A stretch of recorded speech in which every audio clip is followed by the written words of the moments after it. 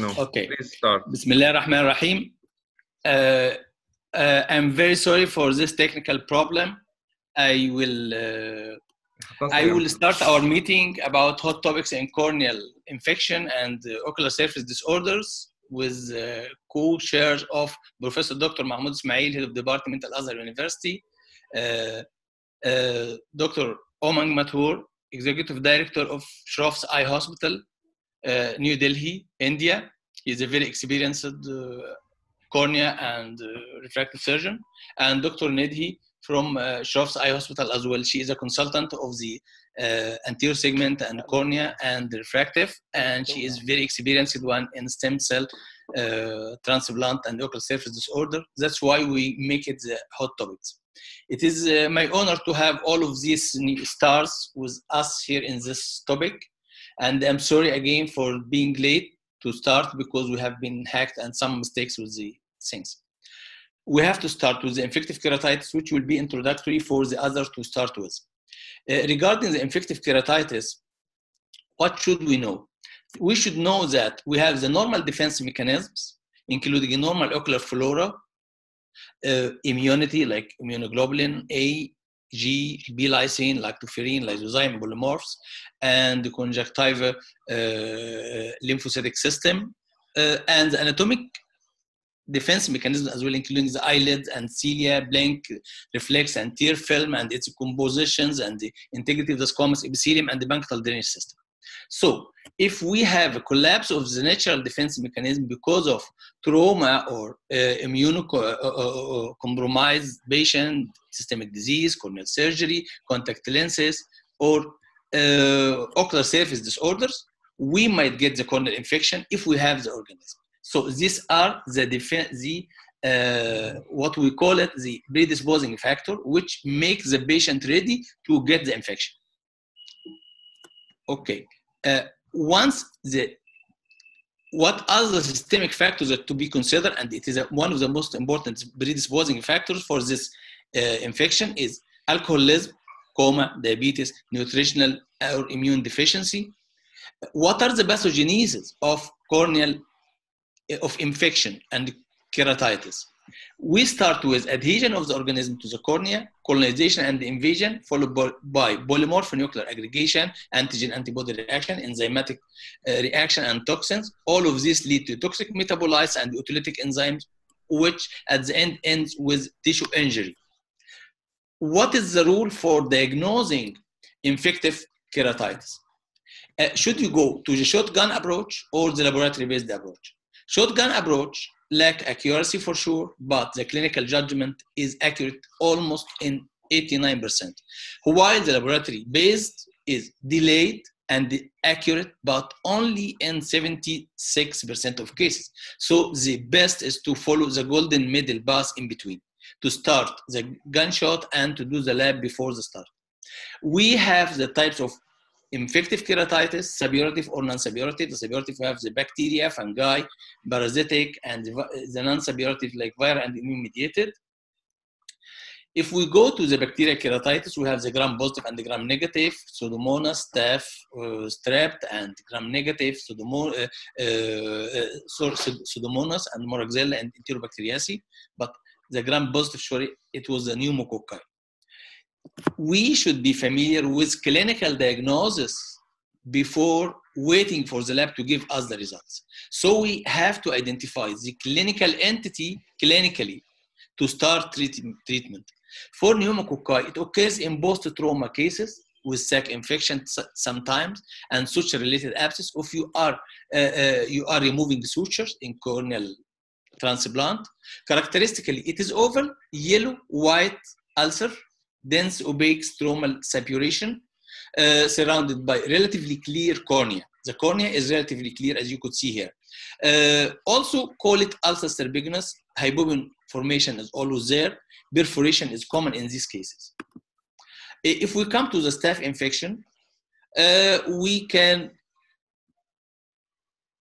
sorry, if we come to the, to the to the staph infection, it occurs in compromised corneas with dry eye and bullous keratopathy, herpetic patients that's treated for a long time.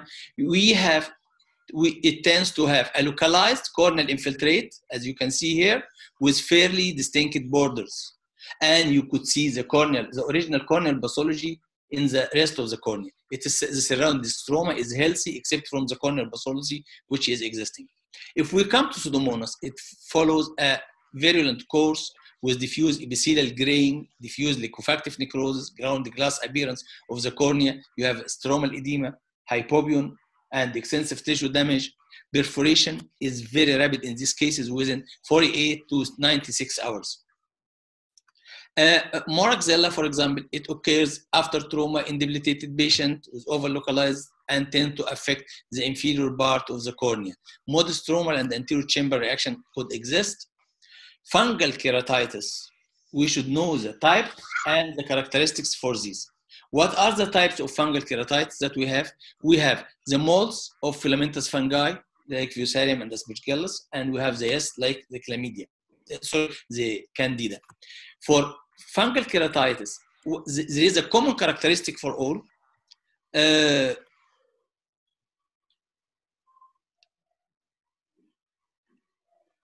Uh, the common characteristic for fungal keratitis is uh, uh it, it, it is dry looking, grayish white with elevated and rolled out margins. With elevated and rolled out margin. Stromal infiltrates with feathery hyphae edges usually occur. Infiltrates with raised, uh, is raised are raised above the surface. If we we should know also that it is more it, it is it is caused by uh, yeah, more localized if you have if, if it is due to yeast infection. And has a collar stud button configuration and immune ring and endothelial plaques big hypopyon which is dry and doesn't move with movement and it is not tilting with the patient tilt uh, perforation is rare in these cases. And you see that the cornea is very densely infiltrated and thick corneal vascularization is absent in this case. So uh, filamentous keratitis like aspergillus occurs in agricultural area and trauma with organic matter like wooden object and occurs in healthy individuals.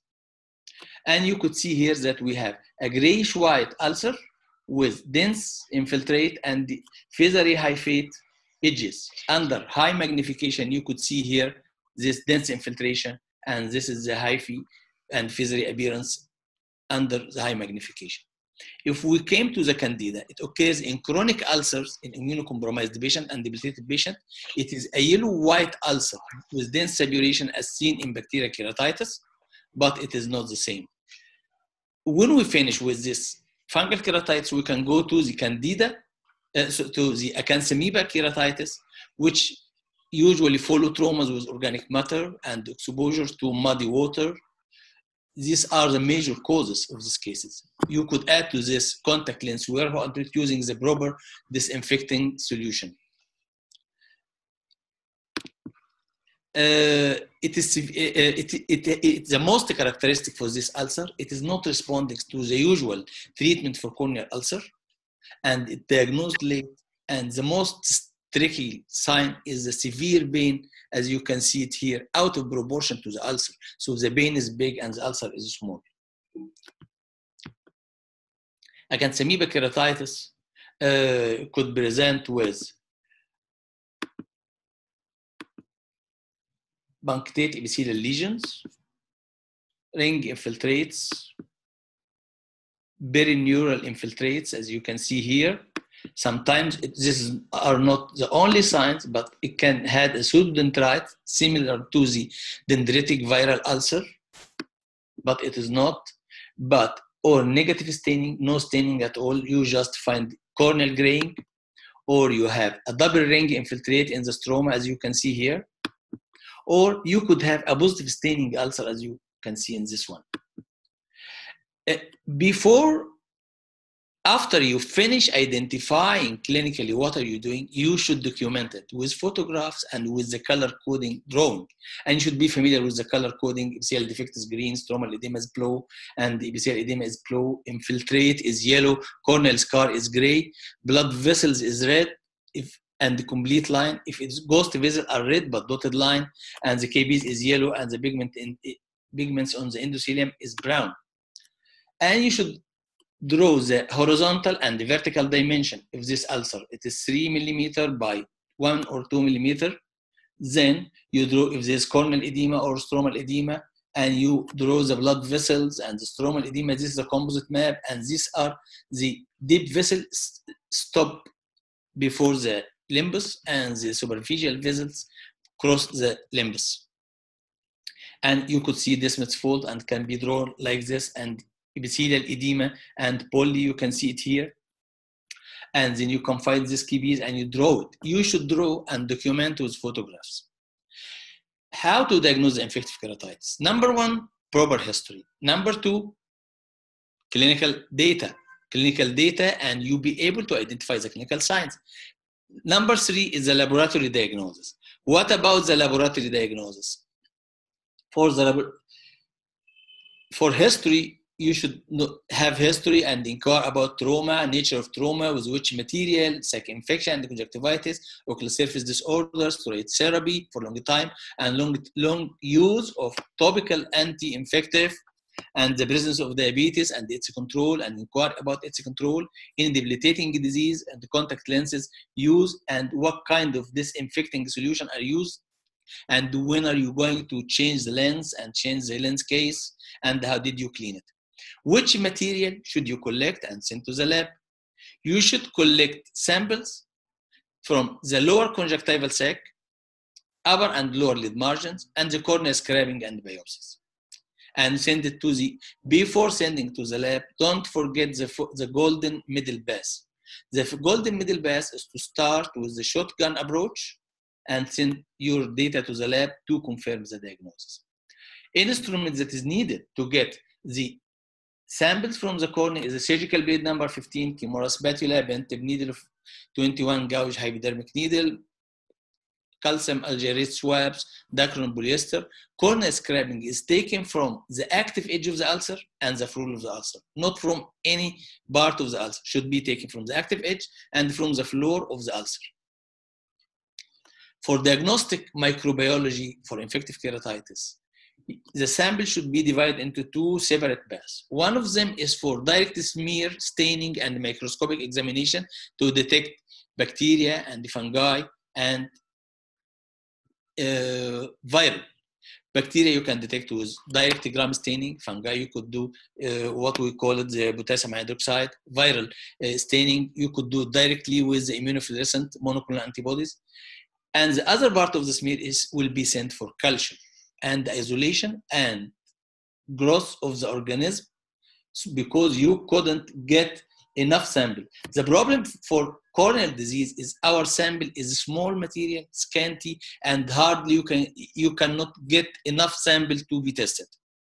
Staining techniques, you should be familiar with the staining techniques. Have, how can you read it and to identify it? We have gram stain, Giemsa stain, and the other stains. For gram stain, gram positive organism appears blue as you can see. Gram negative is red. And you should be able to observe the morphology, whether they are cocci or bacilli, rods.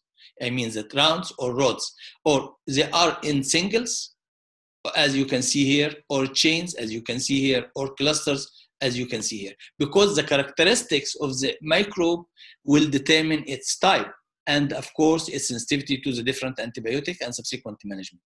What are the possible organisms? Gram-positive cocci, staph, strep, and pneumococci. Gram-negative cocci is Neisseria. Gram-positive bacilli, actinomyces, and listeria. Gram-negative bacilli, Haemophilus influenza, and Pseudomonas and Moraxella. These are the most common types. You should also do Giemsa stain, which can determine the predominant cell type, and it's better for certain bacteria like Haemophilus and, and Moraxella, and it's better for fungi, excellent staining for uh, inclusion bodies of chlamydia. Uh, of chlamydia. It is useful also for acanthamoeba keratitis. Potassium hydroxide mount, you can immediately after smearing the material onto the glass uh, slide, you can add a potassium hydroxide reagent and put a cover slip and examine directly under the microscope to see the fungal hyphae, the fungal hyphae, or you see the spores as you can see here. Uh, lactophenol cotton blue is useful for identifying the fungus and it is very important for identifying the morphology of the fungus to identify which fungus are you dealing with. Uh, other stains like periodic acid Schiff and methenamine silver, Ziehl-Neelsen for mycobacteria, immunofluorescent stain for viruses, and the calcofluor white stain for acanthamoeba, we should be familiar. How did you mount the smear? On the agar plate. It, this scraping is for the conjunctiva. And this the, the red, you could write down right R for the right, and in the lower part of the agar plate is for the lower lid, and the upper part of the agar plate is for the upper lid. And the cornea, you can have separate C's, as you can see here. So you will be able, here you have growth of conjunctival and corneal isolates, as you can see here. Uh, what are the culture media available? And you should be familiar when you ask the lab send me blood agar or chocolate agar or Sabouraud agar or non-nutrient agar. Non-nutrient agar is used for acanthamoeba. Sabouraud agar is used for fungi. Blood agar is used for aerobic, anaerobic, and bacteria and fungi. And chocolate agar for aerobes and facultative anaerobes and something like this. So the most useful media here is blood agar is very important and it, it accommodates aerobes, anaerobes, and bacteria. It is hard to find the anaerobes in corneal infection because it is exposed to the air. And of course, Dr. Umang and Dr. Mahmoud has more experience in this subject. Uh, if we come to the culture media, we have also so many other culture medias, tissue culture for viruses, Loewenstein-Jensen for mycobacteria, brain heart infusion broth for fungi, and uh, thioglycolate broth for aerobes and anaerobes. Uh, the culture media, what are you going? When are you going to read? And what are what to do. After you could start to read the culture after 6 to 18 hours to 24 hours. Uh, some of the growth could you could see growth after 6 hours. Uh, see the, the growth and identify the colony characteristics of the organism. Again redo gram staining to confirm the diagnosis. Antibiotic sensitivity is to be done on nutrient agar plate it needs time antibiotic sensitivity, it needs time. That's why we should start our treatment before waiting for the antibiotic sensitivity. And we should do the biochemical test as well on the cultures. Other tests like corneal biopsies could be done when, if in case of failure of the culture and the staining to reveal the diagnosis, or the ulcer is not responding to treatment, or if you have acanthamoeba keratitis. Because acanthamoeba you cannot detect it except by high clinical suspicion and the lab diagnosis. And you could also do sac syringing, blood sugar testing, general examination as well to test for the sugar. Corneal biopsy, as you can see, is indicated only in cases of non-healing ulcer, deep stromal infiltrate, and acanthamoeba keratitis. Other techniques like polymerase chain reaction, PCR, could be used for the diagnosis. The most recent ones is the fluorescent antibody test, which can be used for diagnosing herpes simplex. What are you going to take home message from this meeting?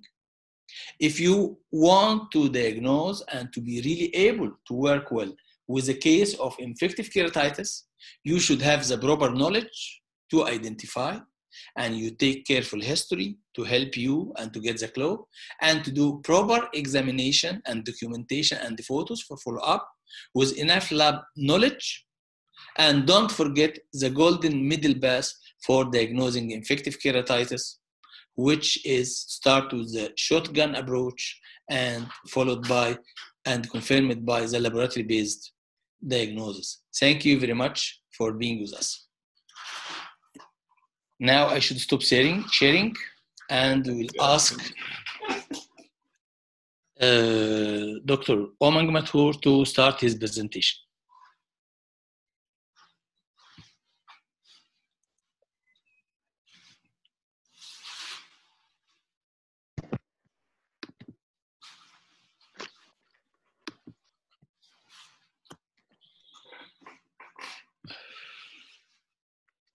Yeah, thank you, Dr. Yeah. Mahdy. Yeah, uh, it's, a, it's, an honor to be here and uh, present my talk. Uh, I'm sorry for the late start. Uh, I think we had some techno- technology difficulties. Uh, so after a very comprehensive talk from Dr. Mahdy uh, on suppurative keratitis and how to manage, uh, this talk would be on herpes simplex keratitis. Herpes simplex keratitis is generally very common. And let me start with this case which presented to us a 70 year old one eyed patient with pain, redness, watering in the left eye of two months duration and the diminution of vision of two months duration. The patient was on uh, empirical therapy with antibiotic eye drops, uh, but had shown very little improvement. So we see an epithelial defect and we see infiltration and thinning and vascularization. And we did a uh, corneal scraping, which showed some gram-positive cocci. So what is our diagnosis here? We'll come back to this case. Now, if you look at HSV keratitis, there are in the US itself about 50,000 new cases. Now, in India, uh, and I would imagine very similarly in Egypt, we what we see in the clinic, what remains in our minds is uh, more suppurative keratitis. Especially in India, we see a lot of fungal keratitis, and sometimes we forget that there is a lot of HSV also, uh, and uh, I think it's a similar number or higher that we would see in our populations too. Now, 50% of the population at any point is infected with HSV1. And I think it's very topical with all the virus talk happening. HSV, another virus, uh, is found in almost 100% cadavers over the age of 60 years. Uh, it resides in trigeminal ganglion. And so almost all of us seem to be at risk of getting HSV, while some unfortunate people tend to get the disease. But it's not like we don't harbor. I think it's our immunity that handles it. I did some literature, even populations in Egypt, almost 97.5% of Egyptians uh, are seropositive for HSV. It is the most common infective cause of blindness in the developed world, and recurrences are typically with the same strain. We are still not very sure what triggers it, but it's said that fever, hormonal changes, UV exposure, stress, ocular trauma, and excimer laser are some of the inciting factors for this virus. Now, we can divide the cl clinical manifestations of HSV as congenital and neonatal ocular herpes.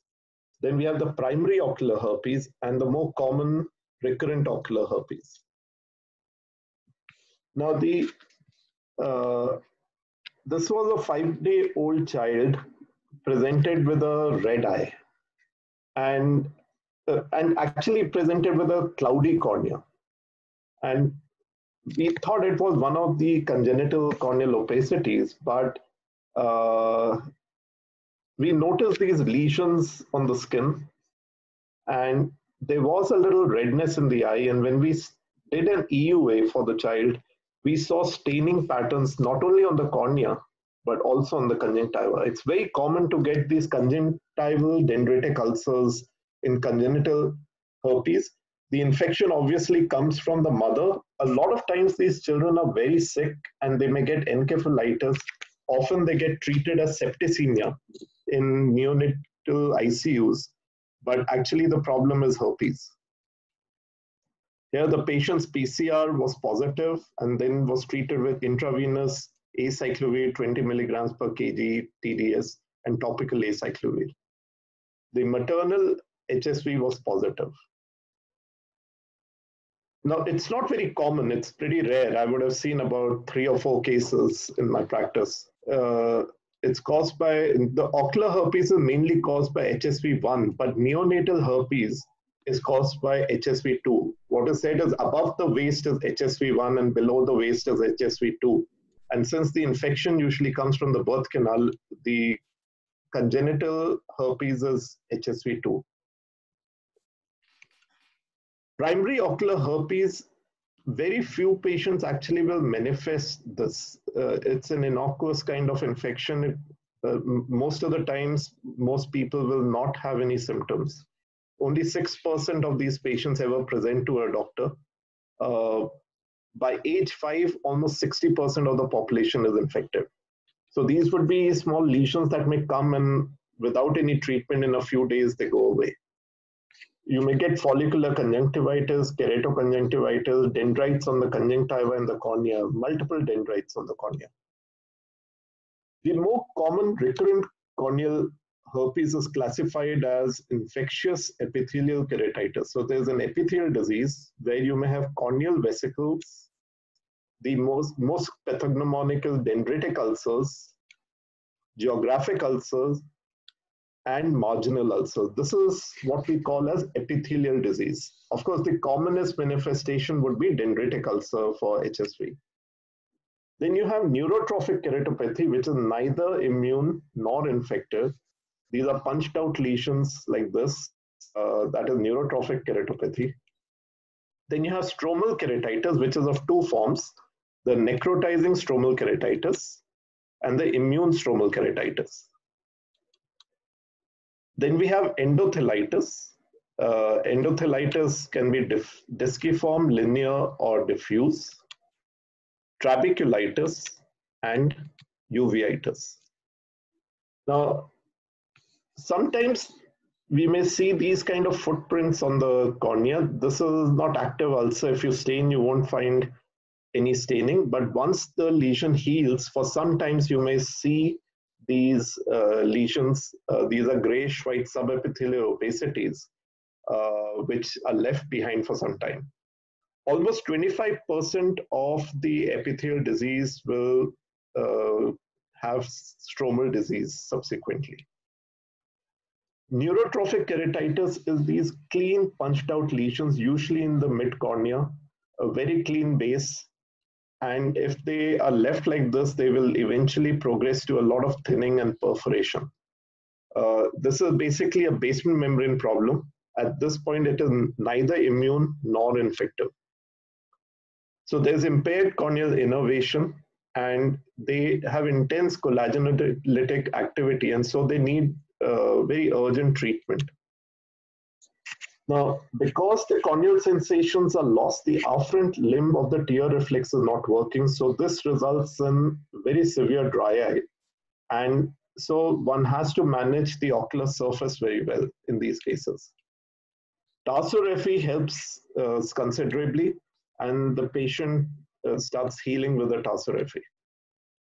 Stromal disease, about 20 to 48% of the recurrent herpes are stromal disease there, there is one necrotizing stromal keratitis, which has direct viral invasion, and the immune stromal keratitis, which is an immune reaction to the virus.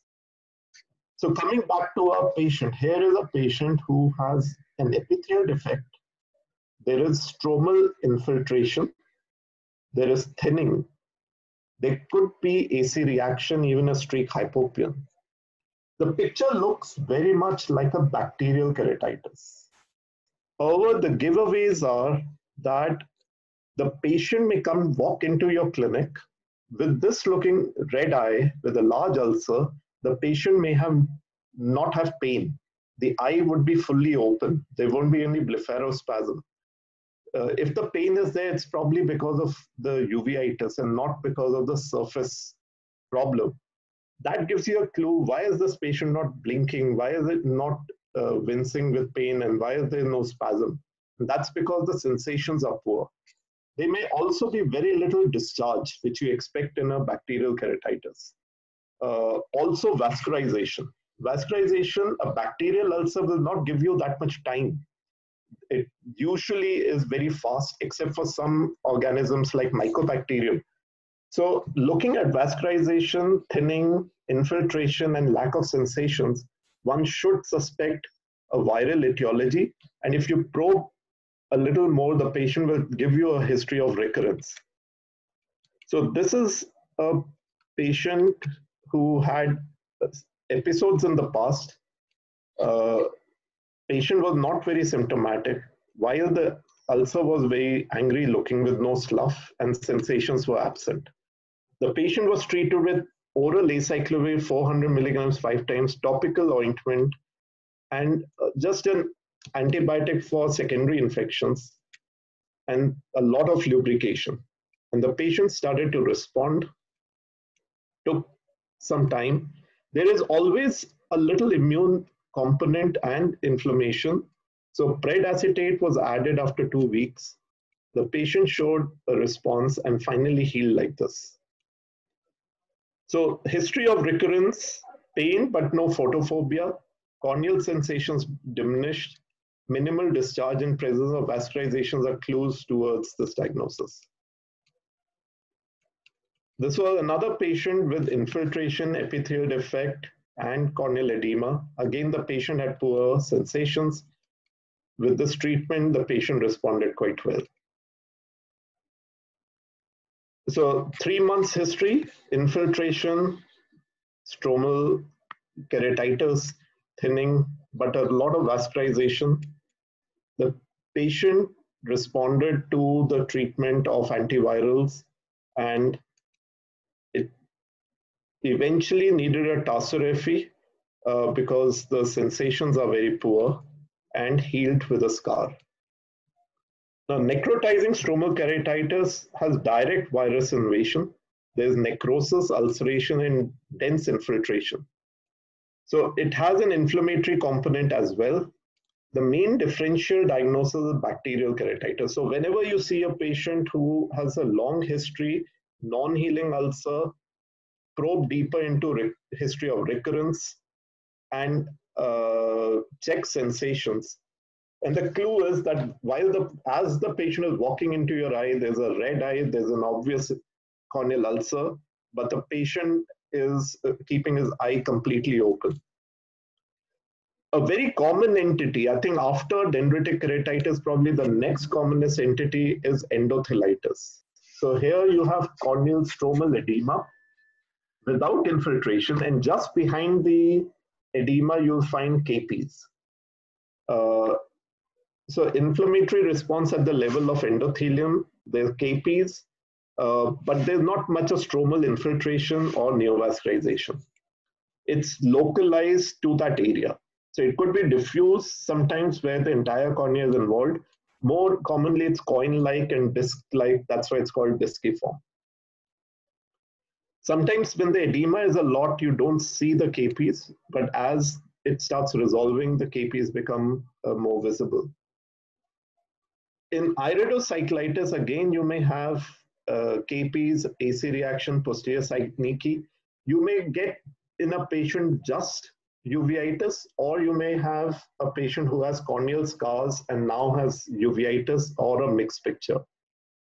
Trabeculitis is common, and in a lot of your herpetic patient, uh, you must check intraocular pressure because uh, trabeculitis can cause rise in intraocular pressure. Sometimes I feel uveitis pattern is so common that a lot of idiopathic uveitis that we see is probably herpetic. Now, herpetic, herpetic uh, disease, uh, eye disease study, the HEAD study, uh, was a landmark study that we learned a lot of new things from. So one of the things that it said was that topical corticosteroids used in HEDS was significantly better than placebo in reducing the persistence or progression of stromal inflammation and in shortening the duration of herpes simplex stromal keratitis. So if you use steroids in stromal keratitis, it is of benefit. That is what the head study uh, suggested. It also noticed that oral acyclovir in the treatment of HSV stromal keratitis did not have any significant benefit over just topical steroids and topical antiviral. So in the US, acyclovir uh, topical was not available and they used trifluridine, but a topical acyclovir actually is much better than tri uh, trifluridine. So now, what is stromal keratitis? It's important to uh, understand. The herpes study showed all the endothelitis as uh, stromal keratitis. They did not differentiate between stromal necrotizing keratitis, stromal immune mediated keratitis, and endothelitis. The classification of viral keratitis came up later. So most of the cases in head study were actually of endothelitis, which has been classified as stromal keratitis. And here, surely, oral acyclovir in the treatment will not show any benefit. Topical steroids will, because this is an immune mediated uh, disease. So if you're dealing with endothelitis, the treatment is topical steroids.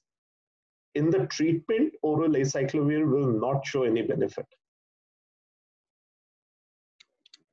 So if you look at the classification, uh, in the epithelial disease, one minute, you have active virus in geographic and dendritic ulcer. In necrotizing stromal keratitis, there's active virus. And in trabeculitis and uveitis, you have active virus. While endothelitis is an immune mediated uh, disease, so you would not find acyclovir beneficial in the treatment. Now, here's a patient who had this infl uh, infiltration, vascularization, and an epithelial defect. Uh, looks like a case of stromal necrotizing keratitis. We gave this patient oral acyclovir, topical acyclovir. The patient was PCR positive for HSV. The patient started to respond. We added topical steroids, and the inflammation comes down further, and the patient starts to heal like this. In our study, we did a study on stromal necrotizing keratitis on 13 patients. 10 weeks, they were given oral acyclovir, 400 milligrams, five times a day, uh, with two weeks of topical acyclovir. Subsequently, we added topical steroids. 70% of our patients were HSV uh, PCR positive. And we found that topical and systemic acyclovir in stromal necrotizing keratitis was of benefit and adding topical steroids uh, decreased the inflammation and improved visual recovery.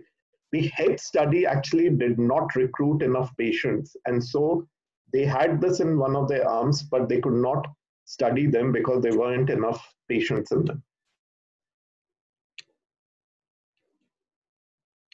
Now, head study, of course, in those days was a totally clinical study. It did not do any laboratory investigations.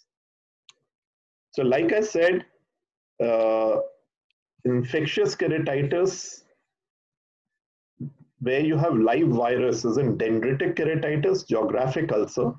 Here, topical acyclovir is the mainstay of treatment.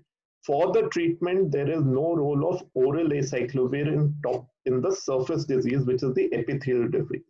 So if you have dendritic ulcer and geographic ulcer, the only treatment is topical acyclovir, uh, topical antiviral.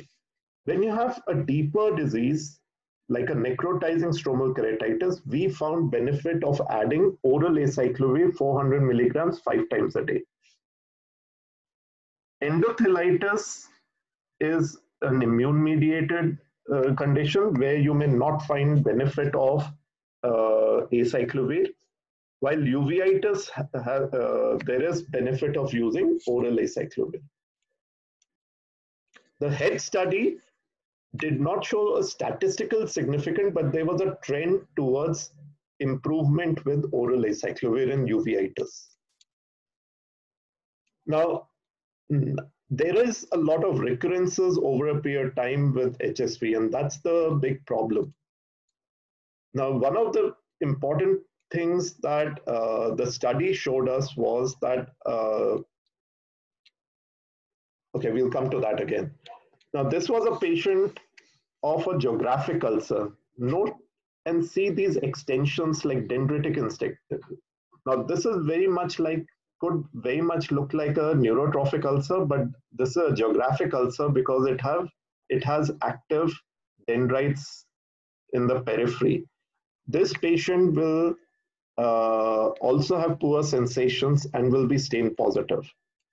With topical acyclovir, the patient starts to respond, and the first thing that responds is that these dendritic extensions get blunted. Now, one would think that this is the end of the story. However, if you notice that there is an epithelial defect punched out lesion over here. So this has now become a neurotrophic ulcer. So the patient undergoes a tarsorrhaphy and we feel that this is now healed and happy ending. And now the patient presents a few weeks later with a infiltration in the stroma and becomes a stromal disease for which oral acyclovir is given. Now, one of the important things in the HEAD study was that the role of oral acyclovir 400 milligrams twice a day for prophylaxis. And it showed a 41% reduction in the probability of getting recurrence. So this has been a very important thing that by giving oral acyclovir, you can reduce the number of recurrences, not to zero by 41%. Keratoplasties is a big problem with herpetic infection. They do very poorly almost 21 to 39% develop a recurrence within the first year. And unless it's really indicated, one should avoid doing a corneal transplantation in herpetic disease. Only for one-eyed patients, if at all. Uh, with oral acyclovir, the results have become a little better, but I would still feel that unless it's really, really necessary, one should avoid doing a corneal transplant. So there are fewer rejections by using oral acyclovir. Uh, now the one big question is how long do you give uh, the prophylaxis? When do you stop? So basically the answer is that the prophylaxis works only for the time that you're taking the medicine. So if there is a graft which you want to preserve, the patient may need to take this lifelong. If it's a one-eyed patient, again, you have to give it for a very long time uh, you have to check the kidney function tests. Uh, so that is important when you're using this. So herpes is a very important disease, very common uh, that we see. And it's important to know all its different manifestations. Uh, I hope some of it would have made sense. Uh, thank you for the opportunity. Dr. Umang, thank you very much for your nice presentation. And we are sorry for these interruptions that had happened with the technical difficulties. Thank you so much for the opportunity. Yeah, yeah usually it happens. But we're lucky that we have so many assistants. Our yeah. friend, Dr. Ihab, assisted us here. Now we are, we are going to give the talk to Dr. Nidhu. Uh, he, she is going to talk about ocular surface disorder and stem cell transplant. She is a consultant in uh, Dr. Shroff's hospital in New Delhi. You are welcome, Dr. Nidhu. You can start to share your presentation now. Yeah, and thank you, Dr. Mahdy, for the opportunity. Uh, You're I welcome. Straight away, uh, because of the time limit that we have. Um, yeah. So I'll be speaking, good evening all the viewers, I'll be speaking about the limbal stem cell transplantation.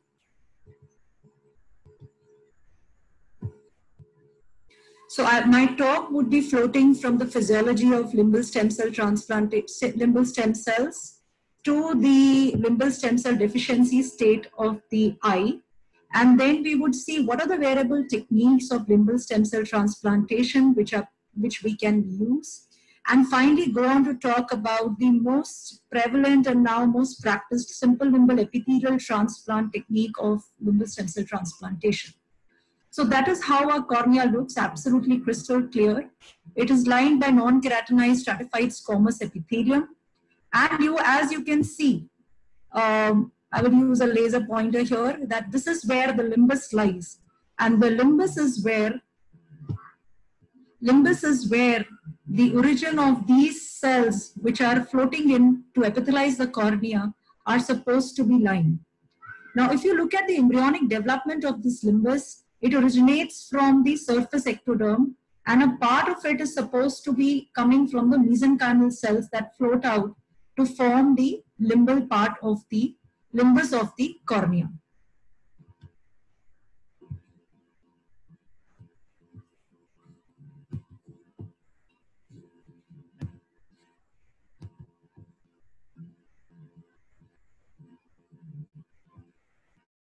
Are you, is everyone able to hear me?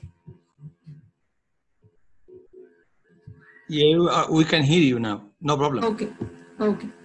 So going on uh, to the, from the limbus, we would see, if you see at clinically, you can see a pigmented zone over here, which is uh, where the limbus lies. And if you see the magnified views, these are the views which have been taken from the ASOCT machines and the histopathological section of the limbus there lies the palisades of, these are the crypts, these are the crypts from where the cells are supposed to be lying.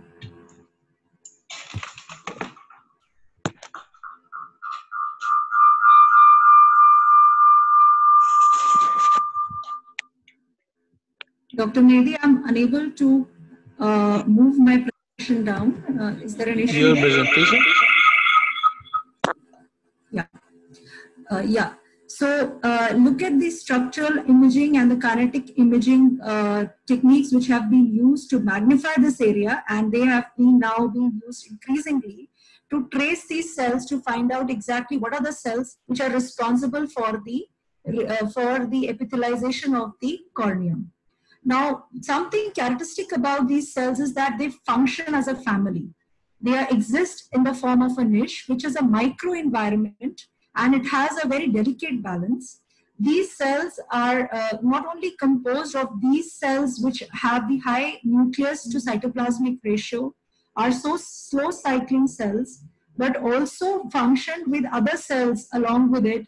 For example, the melanocytes which protect them from the UV radiations, the limbal fibroblasts and the limbal epithelial stem cells with in different stages of their uh, multiplication. So one cell at the limbal stems, uh, at the limbus, which is the limbal stem cell, multiplies and it forms the transient amplifying cells, which further divide to form the post-mitotic cells and finally form the terminally differentiated cells. So they slowly differentiate as the demand comes from the epithelium. And this migration and differentiation usually takes about seven to 10 days to happen.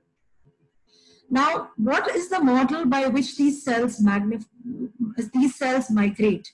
One of the models is the centripetal migration model, which says that at the limbus, there is this multiplication of these cells which happen, and these multiply, multiplied differentiated cells move from periphery towards the center.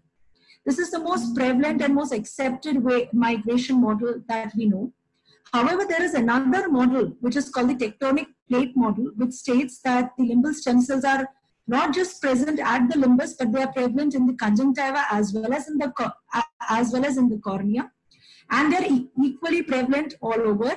However, the limbus forms an equilibrium from where there is a barrier which is maintained between the conjunctiva and the cornea, and hence the cornea is clear and the conjunctiva, conjunctiva however, is mildly opaque what happens is that in, in the normal physiological state, these cells, the family of these cells, remain in a very delicate and a very good balance of equilibrium of differentiation and migration, and finally the loss of the cells.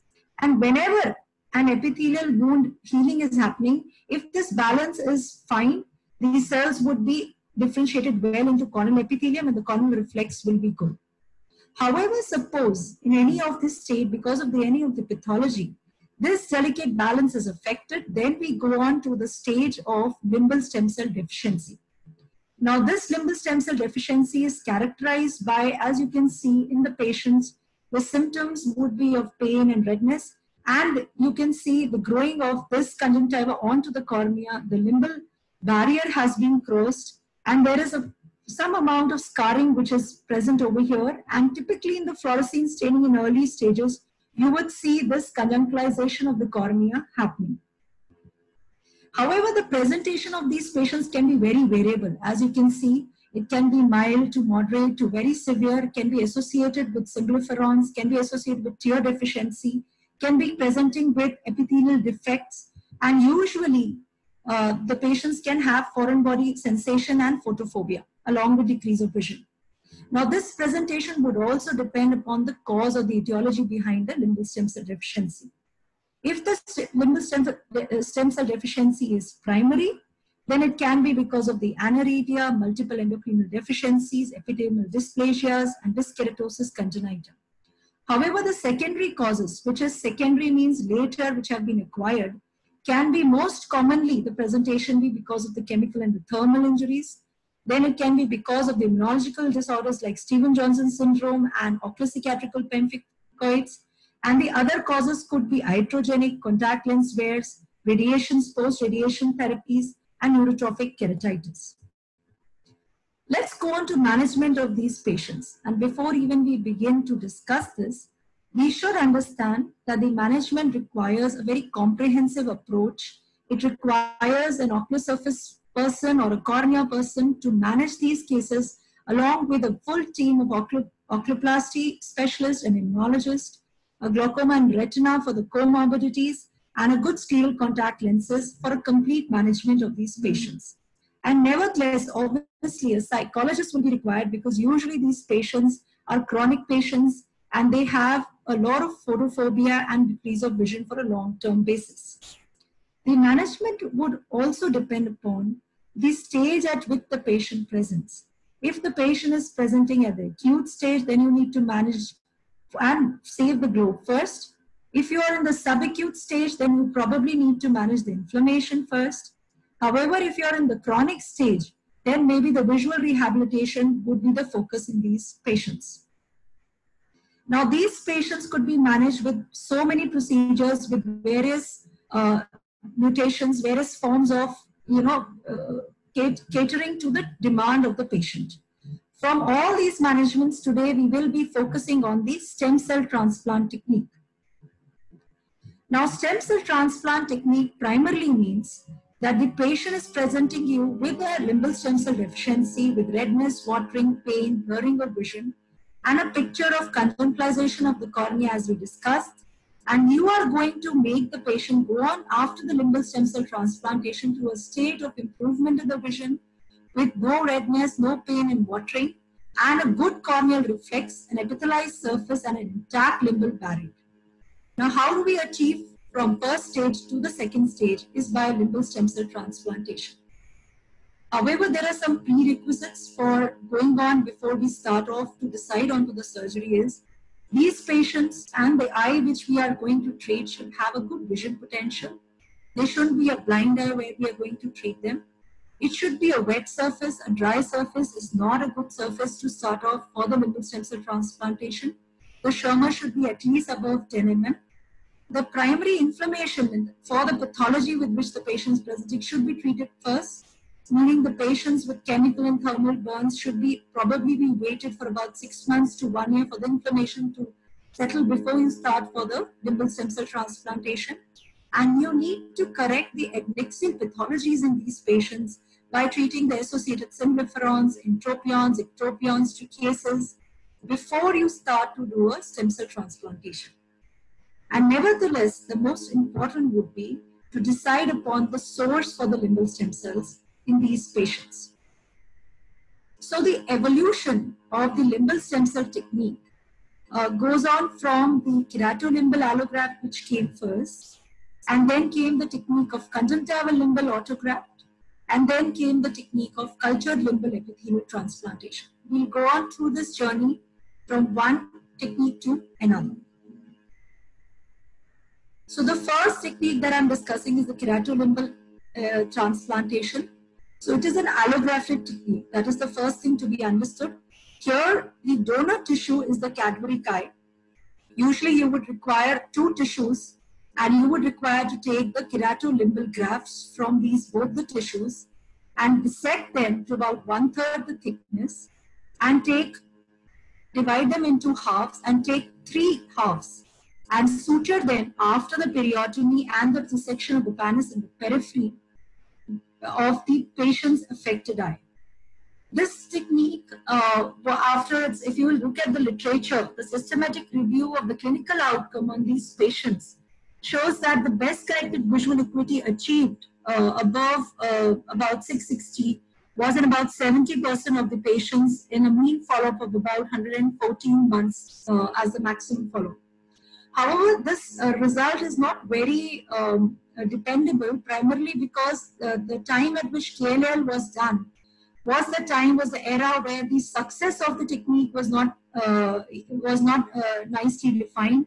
Hence, the studies have given variable success uh, criteria. However, uh, on overall, the patients had about a 70% uh, outcome in the vision. From KLL, let's let's go on to the next technique, uh, which is the conjunctival limbal autograft technique. Here, the patient's uh, unaffected eye, that is, uh, is, is from where you take the grafts. You take about two clock hours superiorly and two to three clock hours inferiorly, uh, a keratolimbal graft, and you suture it at the superior and the inferior uh, limbus in the patients after dissection of the and the peritomy which you do.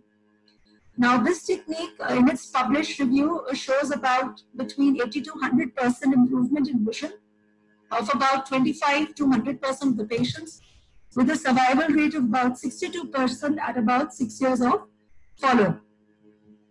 Uh, let's go on to the next technique, which is the cultivated limbal epithelial transplantation. Now, CLET was the last decade, was the technique which was used in last decade um, very, uh, very extensively. It was the only technique uh, which was very widely accepted after the KLL and the CLAU, and it has its own advantages. Now, CLET meant uh, that this is the unaffected eye of the patient from which a biopsy, limbal biopsy of about 1 to 2 mm was taken from the superior or the inferior limbus. And then it was transplanted to a culture plate and taken to a lab, a very specialized lab, where for about two weeks uh, the growth was allowed to happen in an incubation chamber. The patient was uh, had to wait for about two weeks of period, and once the results of the growth in the lab were out, the patient was called back and was taken up for the surgery of the affected eye, uh, in which the dissection of the pannus was done and the grown amniotic membrane or whatever be the culture medium in which the cells were grown were transplanted to the patient's eye.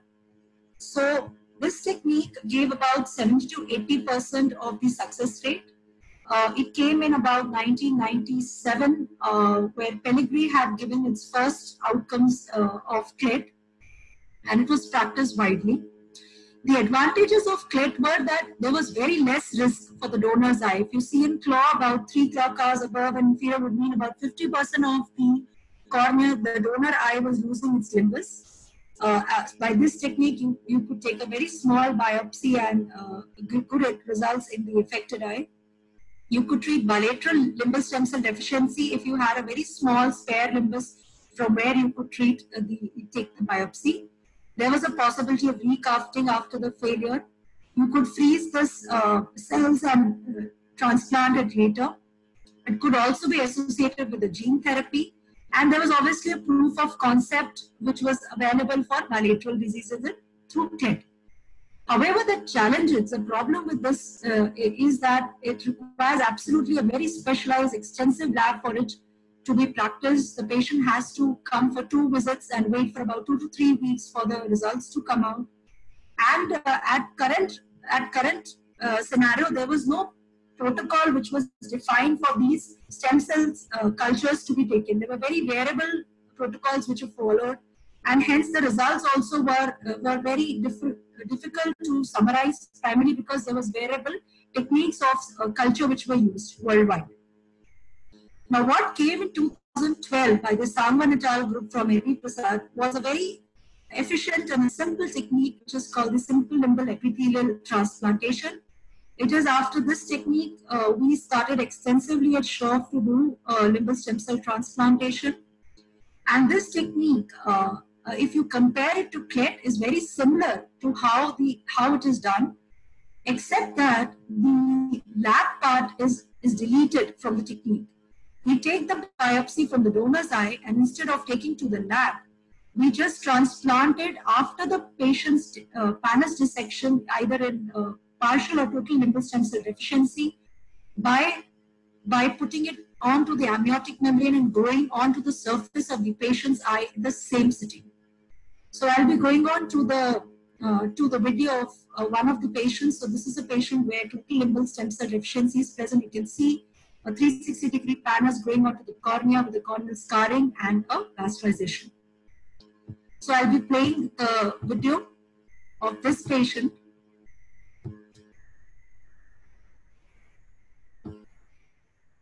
So this is where we uh, where we are taking the biopsy from the unaffected eye. So we are holding the uh, conjunctiva which has been dissected about 2 mm beyond the limbus with the non-tooth forceps and using uh, Westcott scissors, we are trying to dissect off the conjunctiva to reach up to the Tenon's uh, layer. After that, we take the 15 number Bard-Parker blade and try to dissect off until we reach at this stage where you can see very clearly here the pigmented area of the limbus, which is about 1 mm beyond the vascularization into the cornea. We try to dissect off this area by holding it carefully and dissecting off the pigmented limbus. This is about 2 mm onto the cornea. 2 mm of biopsy is taken and dissected off. This biopsy is kept in a balanced salt solution very carefully. The sister is not allowed to touch that. And now we are going on to the affected eye. So this is the disease eye in which, uh, in which a 360 degree peritomy will be done. I'm sorry for the replay. Here, this is where a 360 degree peritomy will be done. Uh, in this technique, to decrease the uh, to decrease the, the bleeding, you can give brimonidine uh, drops beforehand to the patient. Carefully dissect off the pannus, the whole of the uh, fibrous tissue is dissected off. And now we are going on to dissect off the pannus onto the cornea. Careful dissection is done and a plane is defined and you may or may not see a clear cornea below. The criteria is not to see a clear cornea below, but to see, to remove the pannus from the surface. This patient has a very scarred cornea below, so you can do a pre-op ASOCT also to know how much depth you are reaching, how much cornea below is thinned out, how much of the, how the scarring is present to help you during the surgery. Now, a full amniotic membrane is laid on with the help of the fibrin glue onto the surface. It is completely like a curtain falls onto the surface.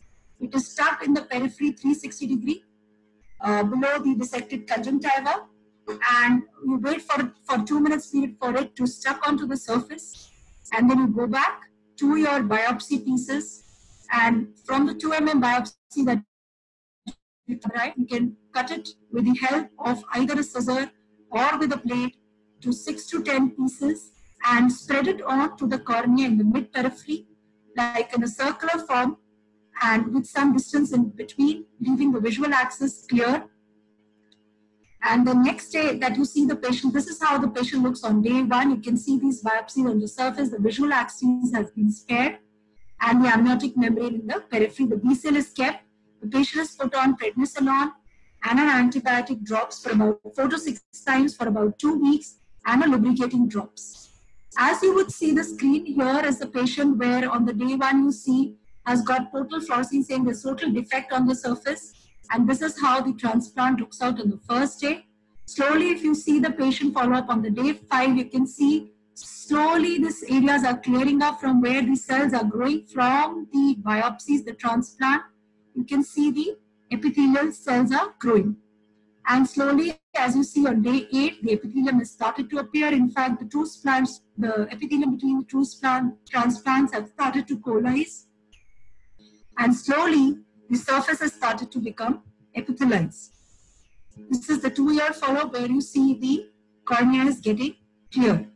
And this is the almost with the HROCT, you can see a very clear cornea and these are the leftover limbal biopsy that you can see. And there is no risk to the donor eye uh, by the technique uh, which has been proven to be safe absolutely for the patient. So I'll be sharing some of the cases uh, with wearable uh, presentation from which have been treated with simple limbal epithelial transplantation. So this is an eight-year-old child with a two weeks history of chuna injury. And a four to five grade of chemical burn in the acute stage. About uh, six months presentation, you can see almost a total limbal stem cell deficiency with a grade 3 symblepharon. Patient after SLET and a three years follow-up has gained a vision about 6-9 with a sterile contact lens. This was a child. Uh, this is another patient which had uh, previous two um, uh, ex vivo stem cell transplantations done elsewhere, the CLET procedures done elsewhere, and after 10 years of the failure, had come to us for uh, stem cell transplantation. And this is the patient's eye, affected eye, which you can see a mild haze is present, probably uh, because there were two attempts which were done, or probably because of the primary pathology. But the patient was amblyopic, did not gain much vision, but was very happy with the uh, outcome of the, uh, the appearance of the eye. This was a patient which was 21 year old male patient with a one year history of firecracker injury. This is almost like a ankyloblepharon which is present, only a PL positive uh, vision was there in the eye. The first attempt was of ocular surface reconstruction done where the symblepharons were released and uh, with, with, the second set where uh, again it was combined with a SLET and a PK later we got about after one year follow-up a best corrected vision of about 624 in this patient.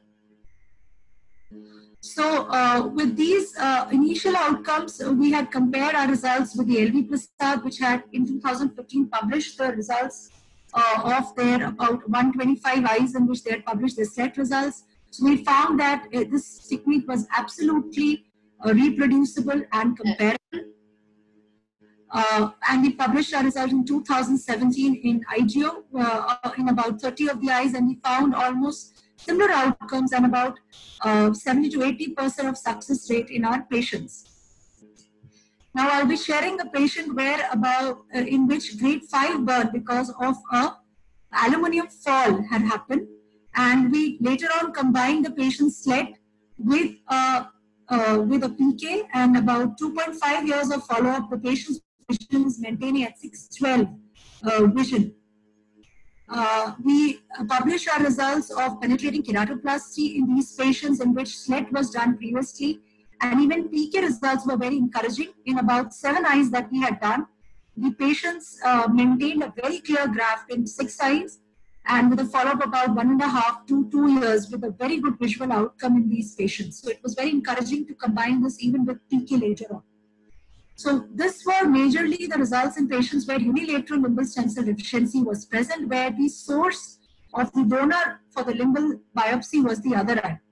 However, if you have a patient where the, both the eyes are affected, you would have to see if the donor could be a relative or you would have to take a cadaveric uh, limbal biopsy. So I'm sharing a patient where an allograft, uh, allo stem cell transplantation through SLET was done this is the affected eye from, these are the two eyes of the patient, the right eye and the left eye.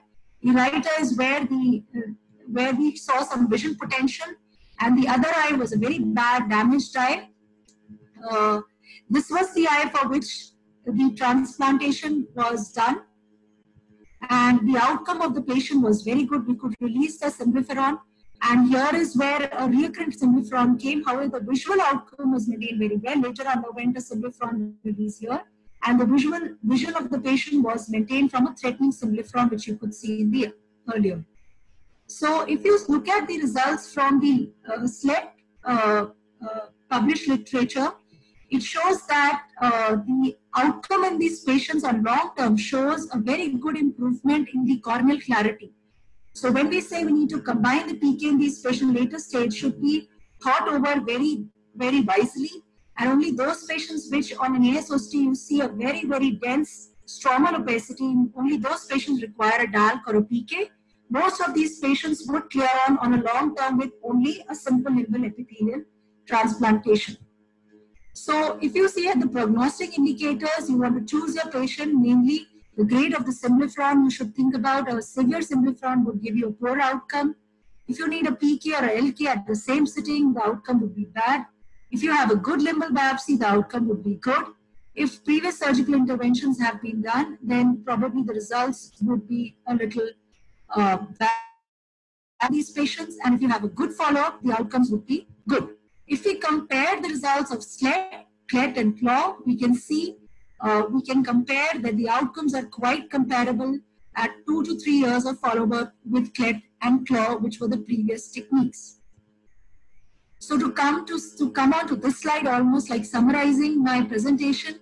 So if you see SLET, it's, it's a technique uh, in which the patient comes at a single time to your OR and you operate it at two times compared to CLET, where the patient has to come about two to three visits depending upon your lab growth. You do not require a lab in a SLET as compared to CLET. Uh, your epithelialization time in a SLET is about two weeks and it's a repeatable procedure. It is absolutely affordable for the patient and the results, as you can see, are very good. And what I would like to highlight, the results in children are absolutely very, very encouraging as compared to other, other, other techniques. To conclude, uh, to manage a patient through an LSCT, you have to be absolutely wise in your approach. You have to tailor make your approach to the patient, treat the adnexia first. And uh, at present, I think simple limbal epithelial transplant uh, gives very encouraging results. It is affordable, reachable, and simple. And probably corneal surgeons uh, should look out for this technique and learn it. Very, very easy technique to go ahead with. So thank you your time, viewers, and thank you, Dr. Mahdy, for your patient hearing and for the opportunity. Thank you very much, Dr. Gupta, for your kind and informative presentation. It's extremely nice. Uh, now we are going to give the uh, talk to Professor Dr. Mahmoud Ismail. He's going to talk about reticular membrane and the keratoprosthesis. Dr. Mahmoud, you could start now.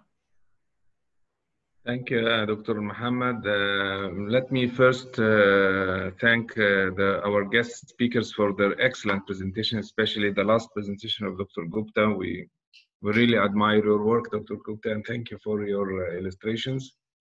And I will speak about the keratoprosthesis, and it's uh, an old archive dream. We have always dreamed to have an artificial cornea in our hands.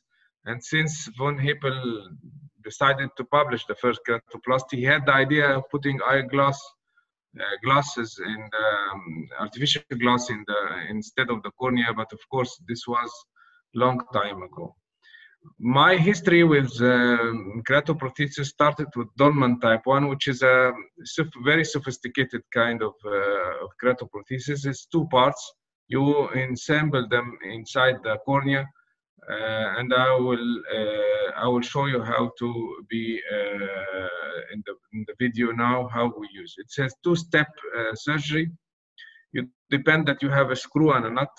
First, you do a pocket inside the eye in the in the the cornea. In a case like this, of course, this is highly vascularized cornea, and then you go forward uh, and uh, implant the first part of the prosthesis, which is a kind of wrench like uh, uh, with a fenestrated uh, periphery in the skirt. And this is uh, how it looks in the slit lamp in the early post-operative. As you can see, see the wrench inside. This is quite engulfed inside the cornea and this is the fenestrations in, uh, that encourages the vascularization to be sandwiched, the prosthesis to be sandwiched. And then you take the patient once again to the, the operating theater and they remove the central part of the cornea corresponding to the empty part of the nut.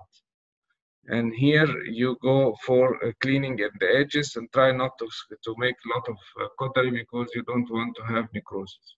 And then comes the crucial part when you start screwing in the uh, optical part, which is the nail part and you start screwing. And this is very crucial. And i'd like to like to admit that in one case i couldn't screw it and i have to uh, uh, cancel the patient and then repeat suturing. And this is how it looks in the post-operative. Very crystal and clear of course the center part. And eye is quiet and even you can see the details of the iris inside uh, the cornea from uh, inside the anterior chamber but actually, it doesn't work like this every time. And unfortunately, we had to, to switch to another technique, which is the biointegrable keratoprosthesis. The biointegrable keratoprosthesis is a, uh, it's a soft tissue keratoprosthesis. It's not hard, it's very soft collagen. And it's a biointegrable. You start, uh, the, you start the surgery by making Uh, uh, marking and demarcation of the central cornea. You can use a calibrated diamond knife in order not to open the anterior chamber, just make a lamellar section inside in, in, the central cornea, through what you will be making a, a pocket in the periphery. You still don't open the anterior chamber yet, just making the pocket. And you have to have a very good uh, assistant that because a lot of bleeding will happen. Once you achieve that you have uh, uh, made a very long and deep uh, pocket, you then you proceed to open the anterior chamber and clean the media. clean the media from any membranes, any leftover of the cataract surgery, anything. If you have, if it's a patient, it's a phakic patient, you have to do anterior vitrectomy and leave the patient aphakic with vitrectomized uh, anterior vitrectomized eye. Then you make some snips, releasing incision in order to help the skirts of the biointegrable uh, prosthesis to fit inside the pocket. And then you sutures the uh, releasing incision to tighten the, uh, the prosthesis in its place. You have to make four uh, releasing incision and you have to suture them all. Uh, this is a short video, but as you can see, it will take at least two hours uh, surgery. And then the patient, uh, uh, and it's that's how it looks in the post-operative. It looks perfect, very quiet eye, and very nice, and very well centered, and very. The patient actually is mm, hilarious after the surgery. Unfortunately, not all of the patient looks like this. This is the, the good eye, but then comes the melting sudden melting, we don't know why. And then there is the cases of severe infection that happens anytime. And this is the, the, the monoster. The monoster is the retroprosthetic membrane, retrocorneal or retroprosthetic membrane. It's a very thick membrane that happens uh, uh, after sometimes. We don't know when and we don't know how to treat them. Uh, it's very thick, vascularized. If you try to tackle them, it bleeds and it reforms again. And uh, I have tried several things. First, uh, by early postoperative to do YAG laser with them, but no sense. I tried to operate them, and it comes back as if nothing happened. You see the patient as if it's the same after pre and post of uh, surgery for tackling the retrocorneal membrane. As you can see, it's very heavily uh, vascularized membrane and it is very thick and very uh, tough. Uh, when all of these disappointment happened to me and started to think about the old maestro, uh, Dr. Muhammad Anwar, who taught us how to do deep lamellar keratoplasty. Lamellar surgery, that was the thing. He injected air inside the, the cornea uh, by which he separated lamellae of the cornea and he proceeded to make the DALK and did make a big difference for us. So with any kind of cornea, you get this perfect uh, results. Why don't we think lamellar in doing keratoprothesis? And how to do uh, lamellar keratoprothesis? You make a pocket, a hole inside in the pocket, and then you wait for uh, and you implant the prosthesis with a protrusion protrusion inside the anterior chamber to prevent the retroprosthetic membrane. And then after six weeks, you proceed to make a central perforation and optical perforation to be coinciding with the uh, prosthesis that you have embedded inside the lamellae of the cornea six weeks before. Let's go to uh, surgery and I do have the patent of this prosthesis by my name. And I will show you a case which have undergone every kind of surgery in ophthalmology. And uh, starting from retinal attachment to uh, to cataract surgery, to silicone oil removal, to uh, keratoplasty, to trabeculectomy, everything he passed by any every kind of procedure you have imagined. And this is the end vascularized cornea, heavily vascularized cornea. And uh, if, of course, there is no room here for another keratoplasty. You proceed, as I said in the graph before, you proceed for lamellar pocket inside to produce a lamellar pocket inside the cornea. This pocket you have to do it tediously and slowly in order not to perforate either up in the lamellary or inside the uh, anterior chamber. You need a pocket first, very well done pocket. As you can see, the cornea is up to here. This is the, the limbus is here. And you proceed slowly, slowly by, doing by a crescent knife. I prefer the one from uh, Geuder. It's very uh, friendly using. And this is the procedure, uh, uh, prosthesis, I'm sorry, and this is how the protruding part that fits inside the anterior chamber. And it's, as you can see, it's fenestrated all around to, to encourage to be engulfed. Then we produce the hole inside the posterior lamellae, where the protruded part, where the protruded part of the prosthesis fits inside to prevent the future retroprosthetic membrane to happen. If you have a protruded part inside the anterior chamber, the retroprosthetic membrane does not happen. And this is how it looks. Then you in, uh, uh, in, uh, embed it inside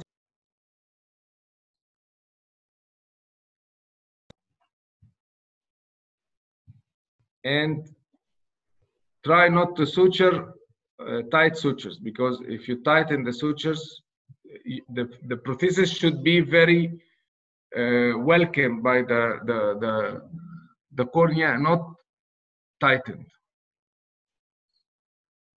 not under tension. The sutures not, should not be under tension.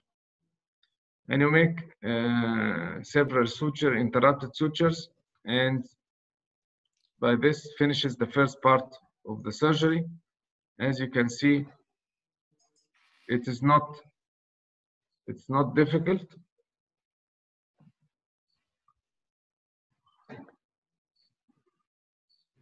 And you just wash any remnants of uh, viscoelastic inside the pocket, the corneal pocket that you have uh,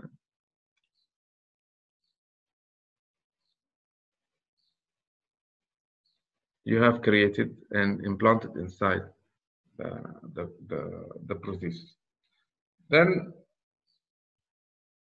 you go and penetrate in the center and then you have an optical part that can the patient uh, see the survival rate is more than five years until now. And um, if you ask me about the results, I humbly uh, answer to you the question by saying something uh, uh, really practical. 20 years ago, I used to do 20, 24 eyes of keratoprosthesis by every year, but in the last year I just did two cases only. And uh, that means that the results are not very encouraging. The patients can lose the prosthesis and uh, something that can happen, uh, which is called extrusion. I leave you with this funny video of uh, Sheikh uh, Hosni that we all know. And this is one of uh, how the patients can see after the keratoprosthesis actually. Thank yeah, you very much, Mohammed. شكرا Dr. Mahmoud, for the nice presentation. دكتور حسني ده حاجه من الناس الكويسه يعني شايف حسني اه حسني اه now I'm inviting the Dr. Umang and Dr. Gupta to join us for discussion. Yes, I'm here, Dr. Mahdy. Yeah, and Dr. Umang as well. Yes, Dr. Umang? Yeah, I'm there. You are there. Okay. Uh, so very nice presentation. Yes, thank you very much. Yeah. Uh, thank you very much for being with us and tolerated that much for this uh, what happened in the uh, technical faults. Yeah, and I thank the audience as well waiting for us. uh, for Dr. Uh, uh, Gupta, Yes. for the uh, the limb transplant that you are doing, uh, uh, what is the exact area that you are getting from the limbus from the other eye, and how did you divide it? Uh, for the SLET procedure and usually even for the CLET, the superior and the inferior limbus is preferred, primarily because it is documented through the histopathological as well as through the ASOCT studies that the limbal stem cells are at high density in the superior and the inferior cloacas. Uh, you can take about two, depending upon the area which you have to cover. If it's a total limbal stem cell deficiency, you would require about uh, 2 mm of your graft. If you are dealing with a partial limbal stem cell deficiency, you can take about 1 mm size of the limbus, about 1 clock hour. You get one clock one clock hour up and one clock hour da- down. No, you can take it from superior limbus itself. You can Yeah. resolve the inferior limbus for any repeat procedure that you require. At a time, you should only be touching probably one limbus zone. Then you divide it into five, six different parts, and you stick it to the uh, amniotic membrane using the fibrin glue, right? Yes, yes, yes, Uh, right- rightly said, yeah. Don't you? Is this is not a, a- scarcity and small amount of limbal stem cells? Would it, this small amount would stand to spread over the whole area? No, if you actually take a 2 mm biopsy, you would be able to dissect it uh, into 8 to 10 pieces, and that is enough for a total limbal stem cell deficiency. It grows within two weeks. You will see if your procedure is getting successful, that the surface is getting epithelialized. You are you are not going to process it yourself to divide it. No, we do it on the table. You, Okay. Sure, you I mean, I Yes, understand. You yes. yeah. Yes. So you yes. divide into different cuts, then you stick it to the surface. Amniotic membrane. Yes, you can put it on the amniotic membrane Uh, and Is, the fibrin glue uh, after spreading it and put a bandage contact lens over the surface. is it possible to repeat it uh, several times later on? Yes, uh, we have done about, repeated about three times in a patient uh, where the donor eye remained the same eye of the patient. About two to three times you can repeat this procedure. The the only point is that you should be expecting a vision potential in the patient. Yeah.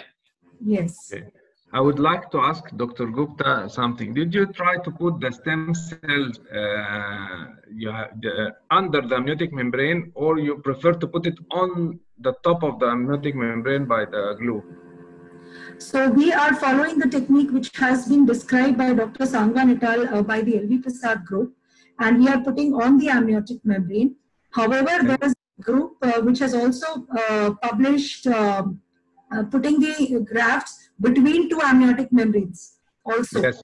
Uh, Yes. but, uh, but but the only thing I would be uh, would be worried about by putting it below the amniotic membrane would be that probably the basement membrane of the amniotic membrane uh, that you're using should be the membrane on which the cells should be growing. If you put it below the amniotic membrane, I'm not sure how the cells would uh, use it as a petri dish.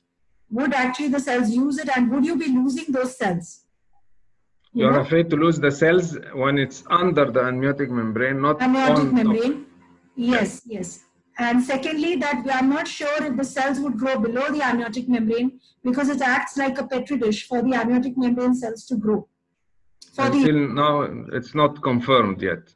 No. yes, it's not confirmed yet. However, there is a group, as I described, uh, uh, they are using amniotic membrane above and below the biopsies. Yeah. They have published good results through it. But if you didn't use an amniotic membrane above, uh, uh, are you going to put a contact lens over the uh, implanted cells? Yes, that is very important primarily because you do not want the lid to be brushing ac- across your uh, your surface and you're losing the biopsies Yeah. creating a defect postoperatively. So bandage contact lens really cause, becomes a barrier between the lid and the newly implanted uh, limbal biopsies. For how long you you would leave it uh, in place? Uh, for about a for about a week, but until you have an epithelialized surface, you should be leaving the BCL on the surface. So you can take it off after one week and look for the epithelialization. If you have achieved a good epithelialization, you can even remove the BCL. If you haven't uh, uh, uh achieved epithelialized surface, you can keep it about two to three weeks also. Okay. Thank you very much. Let me ask Dr. Umang uh, about uh, something, uh, Dr. Mohammed.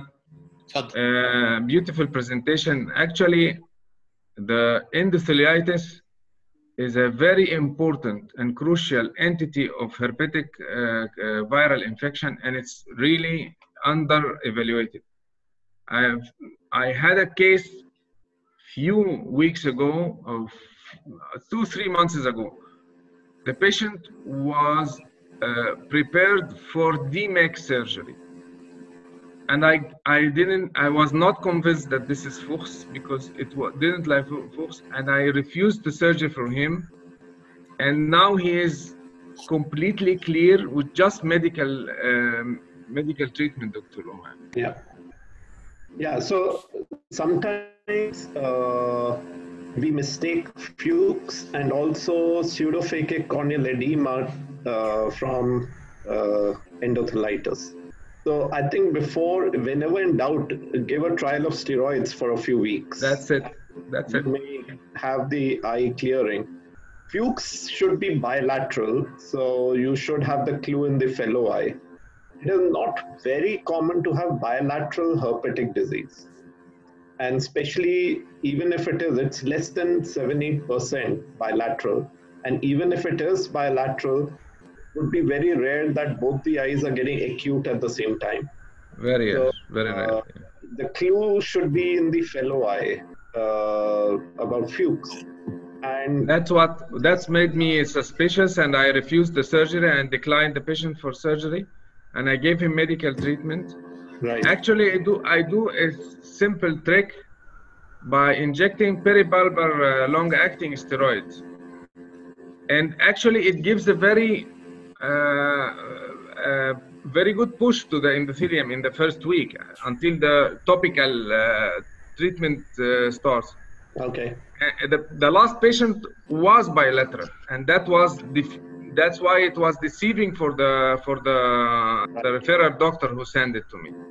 But it's a very i'm i'm really uh, i'm really grateful that you have uh, described it very uh, in your in, intensively in your uh, presentation it's very important to uh, to think about it as intent no, in fact, we see after dendritic keratitis, I think the next most common presentation of herpes would be endothelitis. yes It's fairly common. they're very common and uh, we have Yeah. to think about it. dr Menaim, go ahead Would it be effective if you use the hydrocortisone for these cases?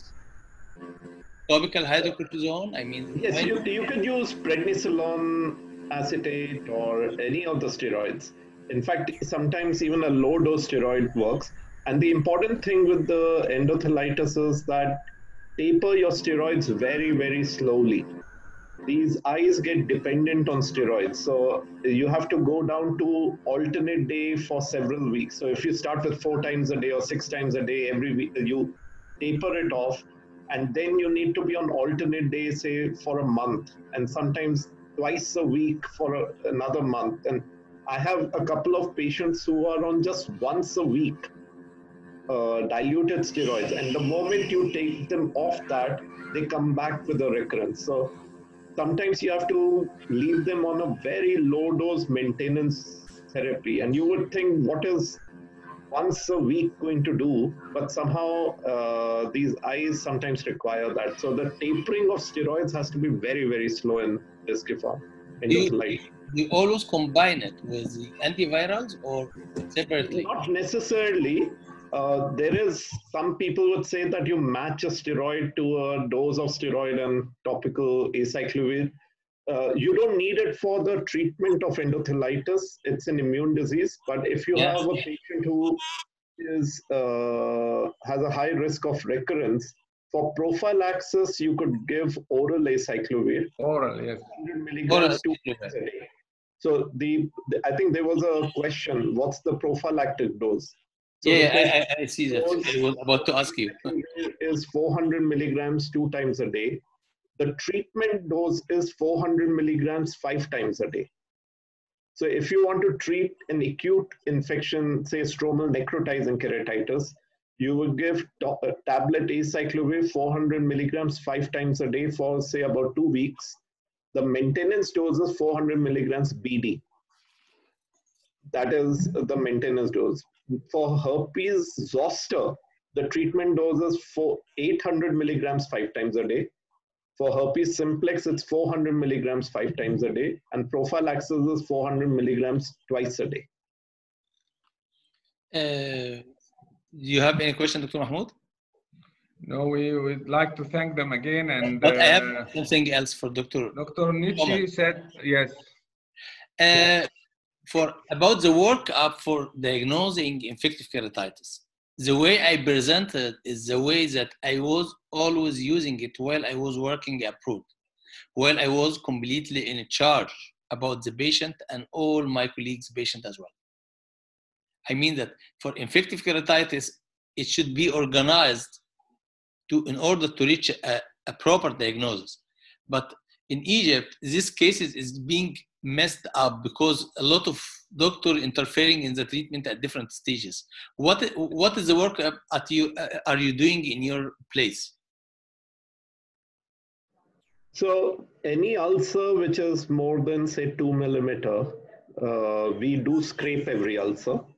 Yeah. Uh, the scraping would entail gram stain and KOH as a minimum, and KO I would so we have a proper microbiology lab, so it's for us uh, we do grams and KOH and as well as we plate uh, on blood agar, chocolate agar, thioglycolate broth, sabroth, de- dextrose agar, and brain heart infusion. And if we suspect acanthamoeba, then non-nutrient agar with E. coli overlay. So that is the whole spectrum. But if you were a comprehensive ophthalmologist without the whole microbiology setup, as a minimum, I would say all you need to get is a simple microscope, the one that you used in your labs when you were in school. You need to get a simple microscope, you need to get slides, cover slip, and 10% KOH. If you were to do just one test, most of the times you want to differentiate between is it fungus or is it bacteria?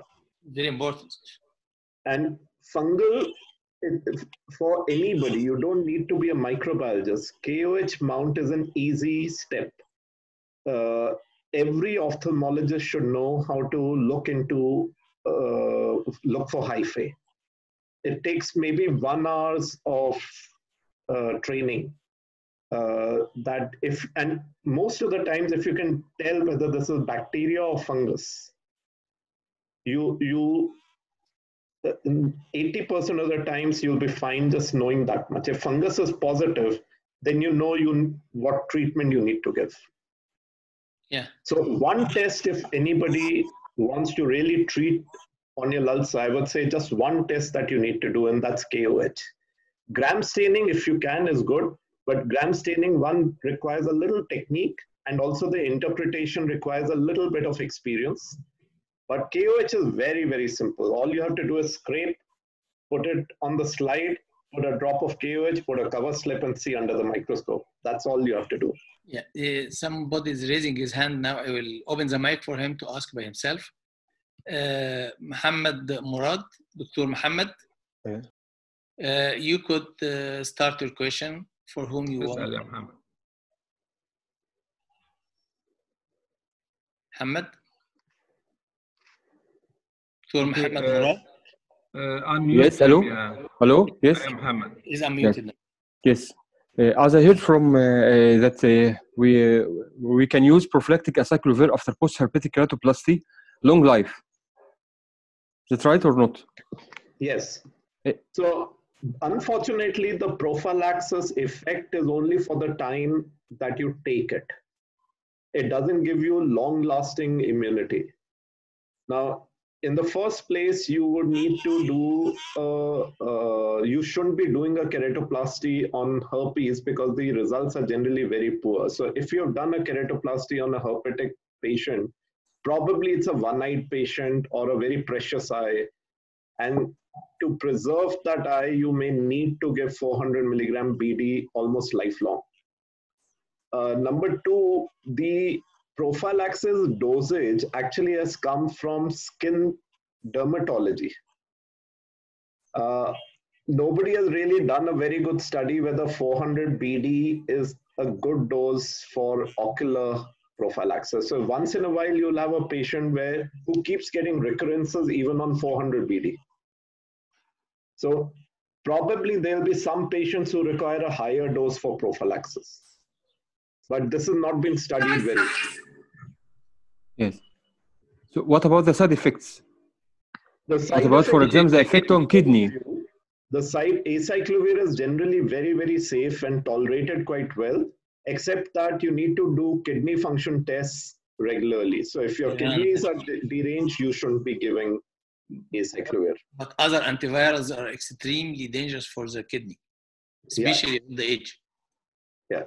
So that's the main uh, side effect. Otherwise, it doesn't really cause uh, gastritis much, and the patients tolerate it quite well. Uh, of course, sometimes expense becomes a problem uh, because it has to be d- uh, taken regularly. In the older days, we used to give uh, prophylaxis with topical acyclovir once a day kind of thing. Uh, one acyclovir can cause a little epithelial toxicity, so it can cause problems in healing in some of the neurotrophic and those kind of patients. And also, the effectivity is not that good. So, if somebody can tolerate oral medication, then it's better to give oral acyclovir prophylaxis. But if you're very desperate to give and you can't give oral acyclovir, you could try with just giving topical acyclovir a couple of times a day, long term. So to take 200 uh, 100 milligram twice daily as a prophylaxis after the 400 milligrams twice a day. 400. 400. 400. 400. 400. Two, tab- two, ta- two tablets for uh, two, two tablets. Two times a day, yeah. Okay. Yeah. Okay. Thank you very much. Dr. Magdi Mustafa is asking the same question that we have asked to Dr. uh, Gupta that uh, the limbal cell transplant, is it above the amniotic membrane? Yes, Dr. Gupta insisted uh, that it should be on the above the amniotic membrane and not on the cornea. yeah, it needs a substrate, you know. Yeah. But but she do it like a sandwich. She stick first the Yes. amniotic membrane, then she stick the limbal graft to the amniotic membrane with the fibrin glue. So and then contact lens. It is a double. Then she put a lens to protect the transplant. Okay. Uh, منعم بنستكفي. Uh, uh, now you could conclude if you want. I, I would like yes. to thank Dr. Umang. Thank, thank you, you Umang. And thank you, Dr. Gupta. And uh, thank one, you, Dr. Mahdy. once this look uh, down is over, we would like to have you here back in Egypt. Sure, Please. we will. I, Thank you for I, that. I would love to come and visit Egypt. Yeah, yeah, you should come for here. W- w- is- is- You, I have the pleasure that I enjoyed being with you at Shroff's Hospital, and thank you for the hospitality, both in the hospital and at home as well.